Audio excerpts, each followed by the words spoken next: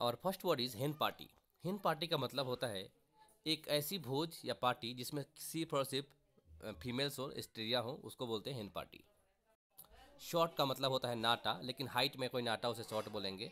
Next word अपने पास fade fade का मतलब होता है मुरझाना, जैसे फूल वगैरह या किसी कलर का भी हल्का होना, वो भी हल्का कोई कलर ना, उसको बोलेंगे फेड कलर मतलब कि हल्का हो लाइट में हो. नेक्स्ट वर्ड अपने पास गागा गागा का मतलब होता है बेहुदा व्यक्ति कोई, उसको बोलेंगे गागा अगला वर्ड है स्लेविस स्लेविस का मतलब होता है कमीना और अगला वर्ड है अपने पास सीनर सीनर का मतलब होता है पापी. So am going to finish my video here